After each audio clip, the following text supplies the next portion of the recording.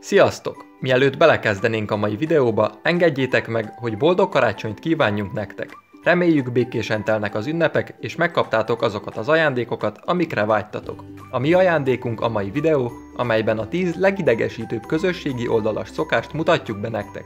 Ha a következő percekben ráismertek ismerőseitekre, barátaitokra, akkor osszátok meg velük a videót, nekünk pedig írjátok meg kommentben, hogy milyen ajándékokat kaptatok, vagy hogy ti mivel leptétek meg a szeretteiteket. Ennyi bevezetés elég is volt, lássunk hozzá!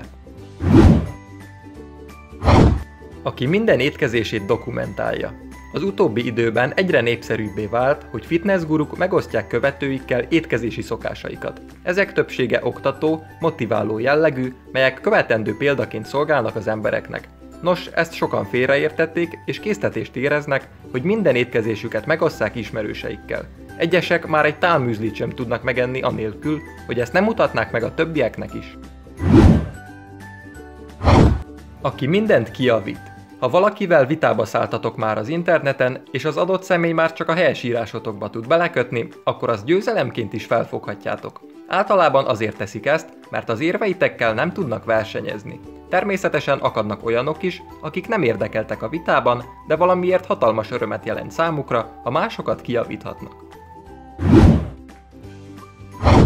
Aki ugyanazt a képet feltölti több különböző filterrel. Ezzel a jelenséggel sokan találkozhattatok már. Bizonyára ismeritek azt a mondást, hogy a kevesebb néha több.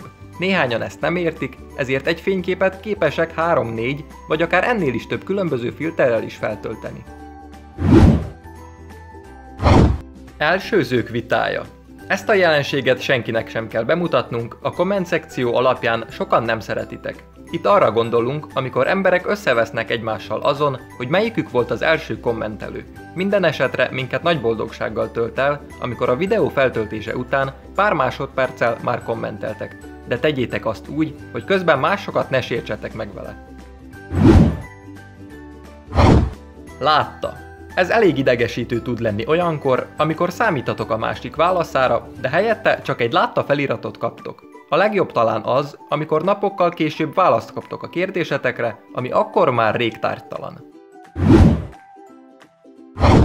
A hashtag kapitány. Amióta a közösségi oldalakon megjelentek a hashtagek, egyesek nem tudják mennyi az elég. Gyakran kilométer hosszúságú hashtag áradatot zúdítanak az ismerőseikre, amelyek nagy része teljesen értelmetlen. Aki folyamatosan megosztja tartózkodási helyét. Itt nem azokra az esetekre gondolunk, amikor valaki például egy reptérről jelentkezik be, hanem mondjuk egy benzinkút kávézójából, esetleg a sarki kisboltból. Ennek aztán az égvilágon semmi értelme sincs, és az emberek többségét valószínűleg teljesen hidegen hagyja. Aki egy csomó ugyanolyan videót oszt meg a buliról. Valószínűleg számotokra is ismerősek azok a különböző közösségi oldalakon megosztott történetek, amelyekben bulikról készült videókat láthattok. Ezzel önmagában semmi gond nincs, de mikor valaki már a sokadik, a korábbiaktól semmiben sem különböző klippet oszt meg, amelyből szinte semmit sem lehet kivenni, na az már idegesítő tud lenni.